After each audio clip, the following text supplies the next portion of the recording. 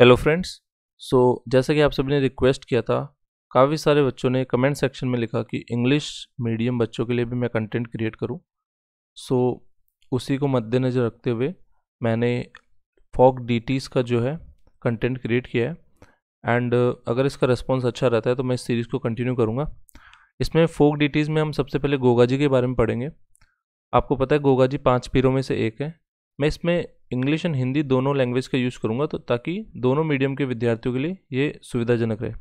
चलिए स्टार्ट करते हैं। सबसे पहले हम बात कर लेते हैं। फोक डिटीज़ होते कौन है? देखिए फोक डिटीज़ होते तो बेसिकली इंसान ही है। मतलब ऐसा नहीं है जैसे हम भगवान देखते हैं, राम भगवान, कृष्ण भगवान, उस टाइप के भगवान नहीं होते ये। ये बेसिकली थे तो इंसान ही, लेकिन इन्होंने कुछ ऐसे कर्म किए, कुछ अच्छे कर्म किए, जिससे लोगों को प्रेरणा मिली, लोगों में जागृति आई और सोशियो रिलीजियस रिफॉर्म्स हुए। आप सोचिए थर्टीन सेंचुरी ट्वेल्थ सेंचुरी उस टाइम कितनी रूढ़ियाँ थी। उन सबको इन्होंने ब्रेक किया। इसलिए इनको हम लोक देवता के रूप में पूछते हैं। अब हम बात करते हैं कि राजस्थान में जो सबसे फ़ेमस जिनको पाँच पीर बोला जाता है, वो लोक देवता कौन से हैं? तो इसके लिए एक पंक्ति आती है। पाबू हड़बू रामदे मांगलिया मेहा, पाँचों पीर पधारजो, गोगाजी जेहा। एंड सबसे पहले मैं आपसे बोलना चाहूँगा कि आप प्लीज़ नोट्स बना लीजिए इसके, क्योंकि बहुत इंपॉर्टेंट है, जो भी मैं बताने जा रहा हूँ। सारे पॉइंट्स आप एग्जामिनेशन में पूछे जा चुके हैं तो आप सभी को एक नोटबुक में नोट कर लीजिए, ताकि आपके एग्जामिनेशन में आपको फ़ायदा मिले। तो यहाँ पे फाइव पीर्स ऑफ़ राजस्थान की बात की गई है। कौन कौन से पाँच पीर? पाबू जी हरबू जी, राम रामदेव जी, मांगलिया मेहा जी, फिर आपके आता है गोगा जी। ठीक है तो ये पाँच पीर हैं।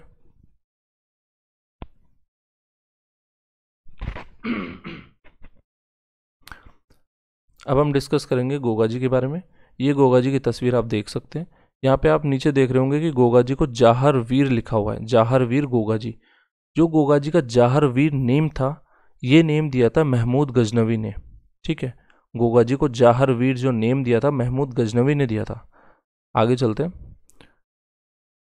Goga ji was born at Dadrewa. Dadrewa में इनका जन्म हुआ, जो चूरू में स्थित है, और इनका जन्म हुआ था nine nine eighty six A में। ठीक है?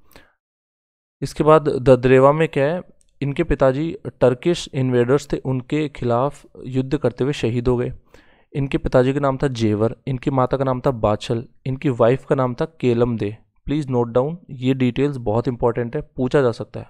एक और चीज़ पूछी जाती है, ऐसा माना जाता है कि जो केलम दे थी ना इनकी वाइफ वो पाबू जी की भतीजी थी, ठीक है? पाबूजी एक अन्य लोक देवता वो पाँच पीरों में आते हैं, उनकी भतीजी थी केलमदे, जिनसे इनका विवाह हुआ था। ठीक है? और इनके पुत्र का नाम था केसरिया जी। ये एक एक और नोट कर लेना आप। इनके जो इनका जो सन था, उनका नाम था केसरिया जी। और गोरखनाथ जी इनके गुरु थे, जो आपको दिख रहा है ना, गोरखनाथ जी इनके गुरु थे। और महमूद गजनवी से इनका युद्ध हुआ था, ठीक है? तो ये सब फैक्ट्स हैं, जो पूछे जाते हैं डायरेक्टली इन एग्ज़ाम जब इनके फादर की डेथ हो गई तो ये रूलर बने वहाँ के, ददरेवा के। आगे चलते हैं। प्रॉपर्टी डिस्प्यूट था इनका, कजिन अर्जन सुरजन के साथ। अब हम बात करेंगे कि जब ये युद्ध में गए, अर्जन सुरजन के खिलाफ इन्होंने लड़ाई करी, उसमें महमूद गजनवी भी थे। और जब इन्होंने लड़ाई करी तो इनका जो है मतलब इनका सिर कट के चूरू यानी ददरेवा में गिर गया, और धड़ जो है, वो हनुमानगढ़ में जाके गिरा। तो जहाँ पे धड़ गिरा, उस जगह को तो हम बोलते हैं धुरमेड़ी। और वो धड़ जो है गोगा मेड़ी नोहर, हनुमानगढ़ एक जगह है, वहाँ पे गिरा था। उस जगह को हम धुरमेड़ी बोलते हैं। एंड जहाँ पे उनका सिर गिर गया, बेसिकली वो पैदा भी वहीं हुए थे ददरेवा में, और उनका सिर भी ददरेवा में गिर गया। उस प्लेस को हम बोलते हैं शीर्ष मेड़ी शीर्ष मेड़ी क्यों? क्योंकि सिर गिर गया। धुरमेड़ी क्यों? क्योंकि धड़ जो है गिर गया हनुमानगढ़ में तो उस जगह का नाम धुरमेड़ी हो गया। ठीक है? वैसे उसको गोगा गोगामेडी बोला जाता है, नोहर, हनुमानगढ़ में जगह। अब इनका मेला कब भरता है, ये काफ़ी पूछते हैं। तो इनका मेला आता है भाद्रपद कृष्ण नवमी को। ये आप देख सकते हैं तो जो थर्ड लाइन है, Bhadrapada Krishna Navami is celebrated as Goga Navami in Goga Medi Hanumangarh Goga Medi Hanumangarh में तो बेसिकली इनका मेला काफ़ी बड़ा बढ़ता ही है, लेकिन ऑल ओवर राजस्थान में गोगा नवमी मनाई जाती है। अब हम बात करेंगे कि जो इनकी वर्शिप करते हैं, वो खेजड़ी वृक्ष के नीचे करते हैं। एक चीज़ आपको ध्यान रखनी खेजड़ी वृक्ष का दूसरा नाम है शमी, ठीक है? खेजड़ी वृक्ष का दूसरा नाम शमी भी है और इनकी जो पूजा होती है खेजड़ी वृक्ष के नीचे होती है। जनरली मतलब ज़्यादातर केसेस में इनकी जो पूजा खेजड़ी वृक्ष के नीचे होती है। और जो पत्थर होता है, उस पर स्नेक बना होता है, ठीक है? पत्थर पे स्नेक बना होता है।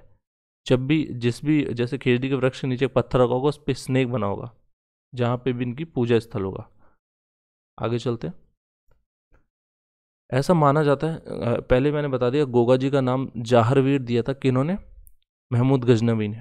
ठीक है, ऐसा माना जाता है कि जब हम इन्हें जाहरवीर की तरफ़ पूछते हैं तो जो स्नेक बाइट होता है, जैसे अगर किसी को सांप ने काट लिया हो तो उसका जहर ऑटोमेटिकली अनइफेक्टिव हो जाता है। मतलब इनफेक्टिव हो जाता है, वो जहर समाप्त हो जाता है शरीर के अंदर।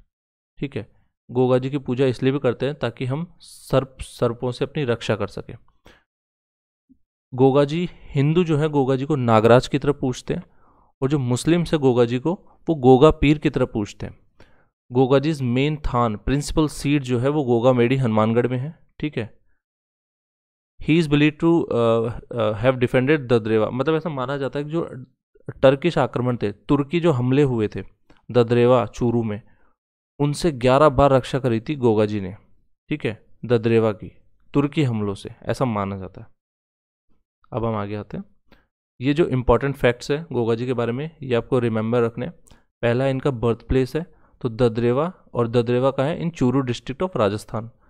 फिर जो है इन इन आ, इनके बारे में जो कथाएँ हैं कि ये ये सांपों से रक्षा करते हैं तो protects from snake bites okay then ये डाइड समाधि का इनकी? तो गोगा मेडी इन हनुमानगढ़ डिस्ट्रिक्ट जहाँ इनका धड़ गिरा था ठीक है? जहाँ इनका धड़ गिरा था। वर्शिप कहाँ होती है? मेन टेंपल इनका गोगा मेडी में और किसने बनाया था? मेन टेंपल जो जो अभी लेटेस्ट जो जिन्होंने उसको बनाया था, वो थे किंग गंगा सिंह। लेकिन उससे पहले जो है, वहाँ पे गोगा मेडी में मंदिर का निर्माण किसने किया था? फिरोज शाह तुगलक ने करवाया था। उस पर बिस्मिल्ला अंकित था। लेकिन जो लेटेस्ट उसका स्वरूप दिया, वो दिया था मतलब लेटेस्ट जो चेंजेस किए थे, वो किंग गंगा सिंह ने किए थे। बट अर्लियर अगर पूछ ले कि किंग गंगा सिंह से पहले उस टेंपल का जो मकबरे जैसा था वो टेंपल उसका निर्माण किसने करवाया था? तो हमें लिखना पड़ेगा, फिरोज शाह तुगलक ने करवाया था।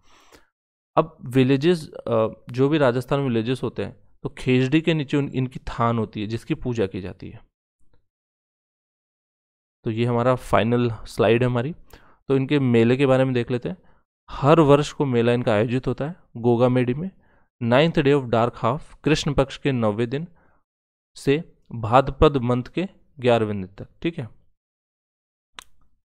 इसके बाद हम आते हैं इनके फड़। इनके फड़ में कौन से म्यूजिकल इंस्ट्रूमेंट ठीक है? कौन से वाद्य यंत्रों का यूज़ करते हैं हम? तो डमरू एंड मॉडल का यूज़ करते हैं। और जो भी फार्मर्स होते हैं ना, किसान होते हैं ना, वो नौ गांठे बांधते हैं। गोगा रखड़ी बोलते हैं इसे, ताकि अच्छी फ़सल हो, ठीक है? तो गोगा रखड़ी के बारे में आपको याद रखना है कि हल और हाली होती है किसान के पास, उसके ऊपर ये बांधते हैं जुताई शुरू करने से पहले, ताकि फ़सल अच्छी हो। ठीक है?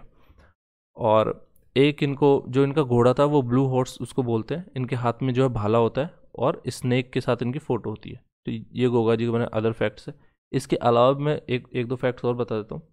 ये बेसिकली लेजेंड्स है मतलब कथाएँ हैं ऐसी कि जब इन्होंने केलमदे के साथ विवाह किया था तो उस विवाह से पूर्व केलमदे को एक सांप ने डस लिया था।